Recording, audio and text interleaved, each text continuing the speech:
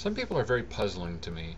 Uh, I was at the mall the other day, and there's all these girls that all look like they put a lot of effort into their appearance. It's you know the the really expensive looking outfits and the hair that's very perfectly styled. That's my hair mime, and then makeup that looks like it must have taken an hour to put on.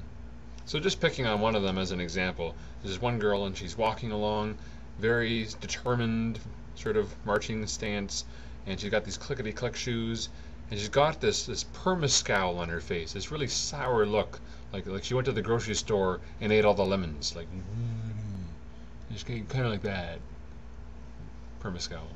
And it just made me think, geez, lady, you know, look at you, and you must just spend a while picking out your outfit and just the makeup. I mean, you must have spent all this time with your, your eyeliner and your eyeshadow and the foundation and the mascara and the concealer and the lipstick and the gloss and all of that stuff. And only you'd taken a couple extra minutes, you know, you could have covered up all the uh, bitch